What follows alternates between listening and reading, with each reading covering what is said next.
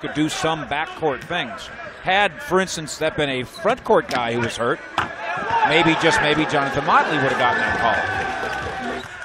That sounds like your credentials at USC. I wish. Woo! What a move. Fancy. This with a purpose. He moves the ball away from the defender to get around him.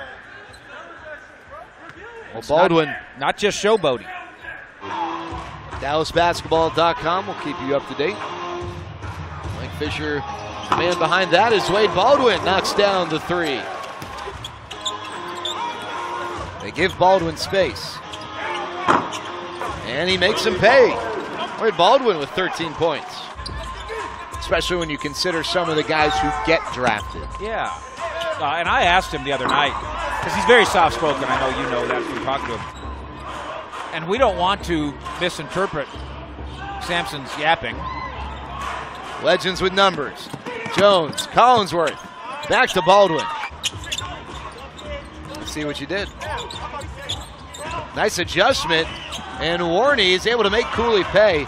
Baldwin was able to hang on to the ball just long enough there, Fish. See Jeff Van Gundy follow in the footsteps of his former ESPN teammate Jon Gruden and get back into the coaching ranks. Yeah. Do that, but the Bighorns have done a nice job getting back. Straight away, Ashley. 26 points for Brandon Ashley. Two of six from deep with 17 points for Jones.